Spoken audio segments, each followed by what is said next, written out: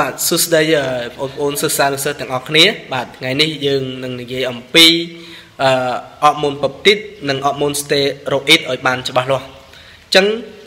យើងនឹងថាអរម៉ូនពពតិតគឺជាអរម៉ូនដែលមិនអាចឆ្លងកាត់គ្នាកោសិកាបានទេព្រោះថាវាកើតចេញពីម៉ូលេគុលរបស់ច្រវាក់អាស៊ីតអាមីណេបាទហើយអរម៉ូនស្តេរ៉ូអ៊ីតគឺជាអរម៉ូនដែលកើតចេញពីលីពីតដែលលីពីតហ្នឹងកើតចេញពីកូលេស្តេរ៉ុលអញ្ចឹងវាអាចឆ្លងកាត់គ្នាកោសិកាបាន អញ្ចឹងសួរថាតើអរម៉ូនពពតិតមានសកម្មភាពយ៉ាងដូចម្ដេចឬក៏អរម៉ូនពពតិតមានអំពើទៅលើកោសិកាគោលដៅយ៉ាងដូចម្ដេចបាទអញ្ចឹងអ្នកទាំងអស់គ្នាត្រូវយល់ថាអ្វីជាអរម៉ូនអ្វីជាកោសិកាគោលដៅអរម៉ូនគឺជាសារធាតុគីមីដែលផលិតចេញពីក្របពេញអង់ដូក្រីនឬក៏ប្រព័ន្ធអង់ដូក្រីនទាំង10របស់មនុស្សហើយវាធ្វើដំណើរទៅក្នុងចរន្តឈាមដោយផ្ទាល់មិនបាច់មានណាជួយទេ ចំណែកកោសិកាគោលដៅគឺជាកោសិកាដែលភ្ជាប់ជាមួយនឹងអរម៉ូនយថាប្រភេទដែលត្រូវគ្នាមានតម្រង់ត្រូវគ្នាជាមួយនឹងអរម៉ូនពពតិតហ្នឹងអញ្ចឹងយើងនឹងថាអរម៉ូនពពតិតគឺมันអាចឆ្លងកាត់គ្នាកោសិកាបានទេ បាទព្រោះគ្នាកោសិកាសម្បូរទៅដោយលីលីពីតអញ្ចឹងវាត្រូវធ្វើម៉េចបាទយើងត្រូវធ្វើម៉េចដើម្បីវាឆ្លងកាត់គ្នាកោសិកាបានហើយផ្សាយទៅក្នុងកោសិកាបានអញ្ចឹងយើងត្រូវយល់កោសិកាក៏ដែរជាអី កោសិកាគោលដៅគឺជាកោសិកាដែលភ្ជាប់ជាមួយនឹងអរម៉ូនយថាប្រភេទហើយកោសិកាគោលដៅនឹងមានលក្ខណៈពិសេសយ៉ាងម៉េច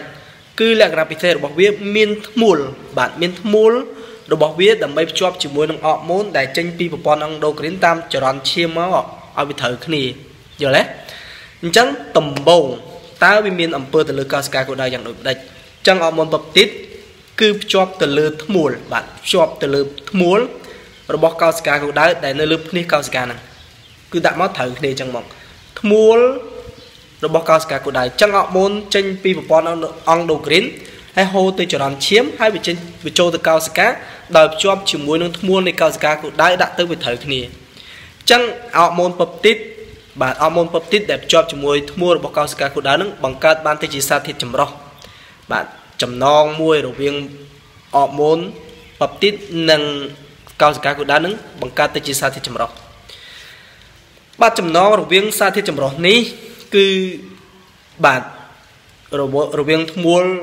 កោសិកាគូដៅនិងអរម៉ូនពពតិតហ្នឹងគឺធ្វើឲ្យបាទធ្វើឲ្យមានការភ្ជាប់ជាមួយនឹងប្រូតេអ៊ីន C បាទគឺប្រូតេអ៊ីន C មានថាចំណងអរម៉ូនរវាងធ្មូលនៃកោសិកាគូដៅហ្នឹងធ្វើឲ្យមានការភ្ជាប់ជាមួយនឹងប្រូតេអ៊ីន C មួយដែលនៅលើភ្នាកោសិកាហ្នឹងដែរ បន្ទាប់មកអាប្រូតេអ៊ីន C ហ្នឹងធ្វើឲ្យអង្គស៊ីមួយបាទអង្គស៊ីមួយបាទអង្គស៊ីមួយឈ្មោះថា adenyl cyclase បាទ adenyl cyclase ដែលភ្ជាប់បាទដែលភ្ជាប់លើផ្ទៃខាងក្នុងរបស់ភ្នាកោសិកាសកម្មឡើងអញ្ចឹងអឺយើងនិយាយម្ដងទៀតគឺដំបងអរម៉ូនពពតិតហ្នឹងអរម៉ូនពពតិតហ្នឹងទៅភ្ជាប់ជាមួយនឹងកោសិកាធ្មូលនៃកោសិកាគូដៅ ពេលជាប់ត្រូវគ្នាហើយ វាក៏បានធ្វើឲ្យប្រូតេអ៊ីន C បាទប្រូតេអ៊ីន C នៅលើភ្នាកោសិកាហ្នឹងធ្វើឲ្យមានសកម្មភាពនៃអង្គស៊ី1បាទមានថាធ្វើឲ្យអង្គស៊ី1មានសកម្មភាពគឺអង្គស៊ីម adenyl cyclase បាទ adenyl cyclase ហ្នឹងបន្ទាប់ពីហើយវាក៏ចាប់ផ្ដើមមានសកម្មភាពឡើងហ្នឹងហើយ ចឹង adenyl cyclase វានៅកន្លែងណាវានៅភ្ជាប់លើផ្ទៃខាងក្នុងរបស់ភ្នាកោសិកាឲ្យសកម្មឡើងហ្នឹងហើយបន្ទាប់ពីបានធ្វើឲ្យ adenyl cyclase ហ្នឹងសកម្មឡើង បាទ adenyl cyclase ហ្នឹងក៏ចាប់ដើមបំលែង ATP ដែលជាធម្មពលហ្នឹង ATP ដែលជាធម្មពលហ្នឹងឈ្មោះថា adenyl triphosphate ហ្នឹងហើយឲ្យទៅជា AMPC ឬក៏ AMP វត្តឈ្មោះថា adenyl monophosphate cycle ចាអញ្ចឹងមានថាអង្គស៊ីមអឺ adenyl cyclase ហ្នឹងបំលែង ATP ឲ្យទៅជា AMP PC ចឹង AMPC នឹងមានន័យយ៉ាងដូចម្ដេច AMPC ផ្សាយចេញពីភ្នាសកោសិកាបាទផ្សាយចេញពីភ្នាសចូលទៅក្នុងស៊ីតូផ្លាស ផ្សាយចេញពីភ្នាសទៅក្នុងស៊ីតូផ្លាសហើយមានអំពើទៅលើអង្គស៊ីមឲ្យអង្គស៊ីមនឹងកាន់តែមានសកម្មភាពរួចមកអង្គស៊ីមនឹងក៏ភ្ញូចឲ្យកោសិកាគូដៅធ្វើសកម្មភាពឬបង្អាសកម្មភាពផ្សេងផ្សេងដែលជាការឆ្លើយតបរបស់កោសិកាគោលគោលដៅអូខេឥឡូវយើងឆ្លើយយ៉ាងខ្លីហើយបានបន្ទុកអញ្ចឹងយើងថា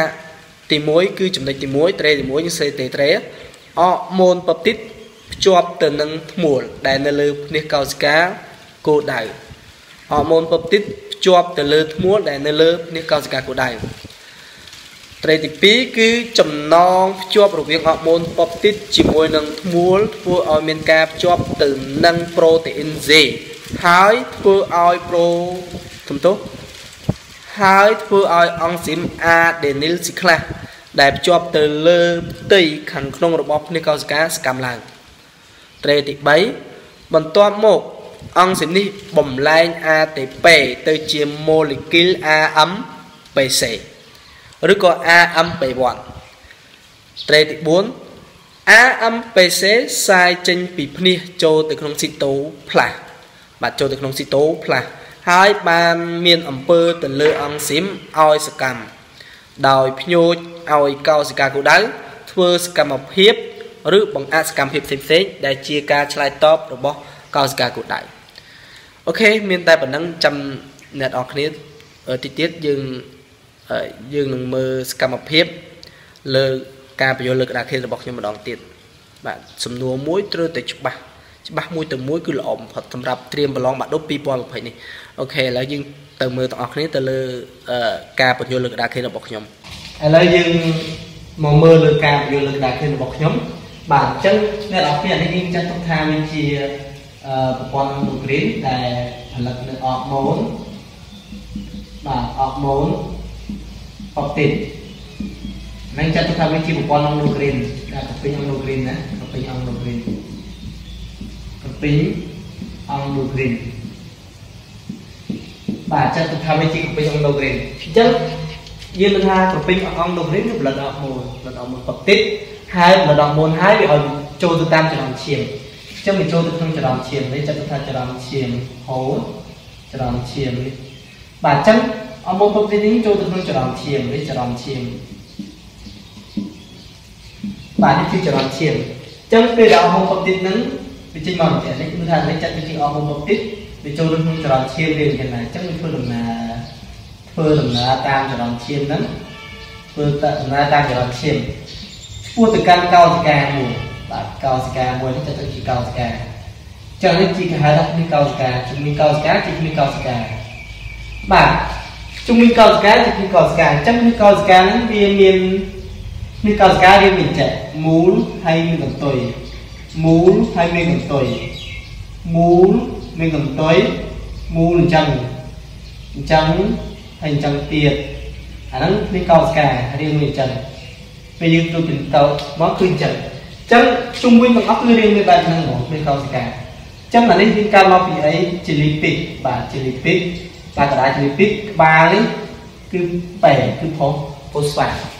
ចឹងពេលដែលអបម៉ូននឹងរត់មកគឺនៅលើពីកោសិកាវាមានធ្មៀលមានធ្មួលបាទវាមានធ្មួលរបស់វាចឹងវាមានធ្មួលចឹងធ្មួលហ្នឹងបាននេះរៀងមូលចេញមកវារៀងមូលហើយបាទគឺគឺអា វាមានធ្មួលហើយហៅធ្មួលបាទឈ្មោះរបស់មីកោសកាគោដៅនេះអញ្ចឹងអឺមើលអានឹងយើងយើងចូលទៅអានេះចូលទៅពេលវាចូលទៅធ្លាក់ទៅក្នុងចរន្តឈាមចរន្តឈាមរហូតដល់ឡើងមីកោសកាអញ្ចឹងយើងថាអមុំពុកទៀតមិនអាចឆ្លងកាត់មីកោសកាបានទេអញ្ចឹងយើងត្រូវភ្ជាប់មួយអកអកអើយឈ្មោះរបស់កោសកាគោដៅនេះអញ្ចឹងអកម៉ូនពុកទៀតនឹងភ្ជាប់ជាមួយឈ្មោះរបស់កោសកាគោដៅអញ្ចឹងរៀងមូលកន្លែងនេះមូលដែរអញ្ចឹងមកនេះឈុំមកនេះឈុំអញ្ចឹងមកដល់វាភ្ជាប់បានកន្លែងហ្នឹងភ្ជាប់បានមូលមួយយល់ទេចឹងនេះគាត់ធ្លាក់មកឡើយឈ្មោះហ្នឹងចូលបានឈ្មោះឈ្មោះហ្នឹងគេអាចឈ្មោះថាឈ្មោះអកមុនឈ្មោះអកមុនហ្នឹងមានន័យមិនយកអកមុនរបស់គាត់តិចទៅភ្ជាប់ជាមួយឈ្មោះរបស់កោកោសកម្មដែរគេហៅឈ្មោះអកមុន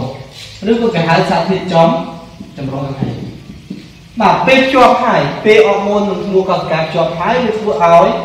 បាទប្រូតេអ៊ីនមួយនៅលើនេះកោសកម្មឈ្មោះថាប្រូតេអ៊ីន C ប្រូតេអ៊ីន C ហ្នឹងបាទកម្រើកគេហៅកម្រើកហើយវាចាប់ផ្ដើមធ្វើឲ្យអង្គស៊ីមនៅលើទីកោសិកានឹងមួយដែរគឺឈ្មោះថាអង្គស៊ីម adenine adenine cyclase បាទ adenine cyclase ហ្នឹងអឺមានកម្មភាពឡើងហើយសកម្មភាពរបស់វាគឺបំលែងបំលែង ATP បាទ ATP ឲ្យទៅជា AMPC ឬក៏គេហៅ AMP1 បាទ P1 បាទអញ្ចឹងបន្ទាប់ពេលបំលែងទៅជា AMP1 ហើយបាទវាសាយចូលទៅក្នុងស៊ីតូផ្លាសនេះស៊ីតូផ្លាសអញ្ចឹងហើយសាយទៅចូលក្នុងស៊ីតូផ្លាសពេលវាសាយចូលទៅក្នុងស៊ីតូផ្លាសវាចូលទៅក្នុងគ្នាកោទៅក្នុងនវាយោហើយក៏វាចាប់ដើមសាយធ្វើឲ្យកោសិកានឹងមានការកម្រើកកន្ត្រាក់ឬក៏ ធ្វើការកាត់ឡើងតាមមីតូចំណែកមីតូចឹងទៅហ្នឹងកើតបានកោសិកាមួយនេះជាដំណើរការរបស់អឺហូម៉ូនប្រូទីនមានអំពើទៅលើបាទកោសិកាគូដៅប៉ុន្តែបើវាអត់ត្រូវគ្នាវាអត់ឆ្លើយតបទេកោសិកាគូដៅហ្នឹងព្រោះត្រាតែវាត្រូវគ្នាជាមួយនឹងឈ្មោះហ្នឹងហើយវាបំលែងទៅជា AMPC ហ្នឹងអូខេនេះចលនាការរបស់ប្រូទីនឬក៏អឺចលនាការរបស់អមុនប្រូទីនទៅលើកោសិកាគូដៅឬក៏គេថា ចូលបញ្យល់អំពីចលនាការរបស់អមុនប្រូទីនអូខេប៉ុណ្ណឹងចឹងយកទៅមើលទៅគឺថាយល់ហើយ